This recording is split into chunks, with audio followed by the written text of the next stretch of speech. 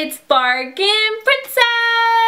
okay, so I was recently requested on Twitter to do a review on the CoverGirl Outlast Stay Fabulous 3-in-1 Foundation, which I'm probably the last person to do a review on it. It is so last year, so 2013, but I mean, I've had this now for about five, six months. I hauled it in a video, and I just started using it now on and off for about three weeks, so I must say, this is bomb! I mean, this is like seriously worth all the hype that I received in 2013. I have it on right now. It gives me such an even, flawless look. I love it. And I have very, very minimal concealer on. I just have concealer underneath my eyes. And then I have concealer on this little dark spot whatever thingamajig. I'm not gonna lie, it is a tad bit light, but it does oxidize, not like the orangey oxidizing. But by the end of the day, this foundation seriously matches my skin perfectly. I guess like by the time it warms up and my oils and the chemistry starts mixing together, this is amazing by the end of the day. This is the first foundation that I don't have to use my Milk of Magnesia to fight back the shine because I have such oily, greasy skin. As far as the demo, you can see that my skin freaked out on me and that's probably because a mixture of two things. One, I just opened up my own boutique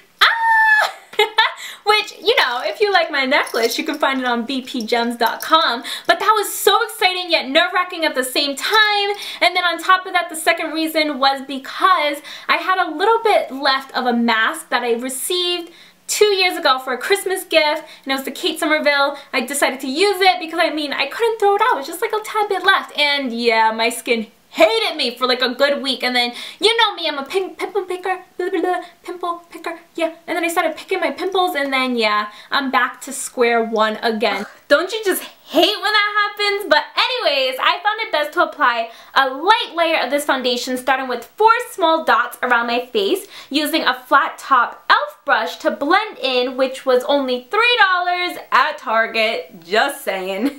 The main reason I do this is because I actually hate that cakey, heavy look, was traumatized back in the day. I mean, who likes that look anyways? So I ended up using the rest of the foundation to stipple on and I spot concealed using my fingers just because I found it to work best and I felt like it gave me more coverage with my fingers.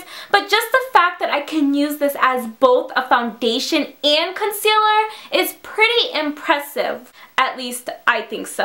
I mean, just look at those results. You can be the judge. I personally think it looks amazing. I do have a little bit of oil building up around my nostrils, but that's it. I mean, that's bearable compared to looking like a huge grease light bulb. I mean, so not cute. So that is it. I actually really, really, really love this foundation. I definitely think it's worth the 9 to $11 depending on where you go. I also wanted to try out CoverGirl's new foundation. I think it's called TruBlend hoping it's the same formula as this. So let me know in the comment section down below. Do you love it? Do you hate it? Like I said, I'm probably like the last person to do a review on it, but so far, I mean, I love, love. I haven't noticed any breakouts from this. It's just mainly from stress and that old mask. so that is it. Don't forget to thumbs up the video if you enjoyed. Hit that subscribe button for weekly videos and I will see you all in my next video. Bye! Like what you see? Well, make sure to check out my other videos. Holla!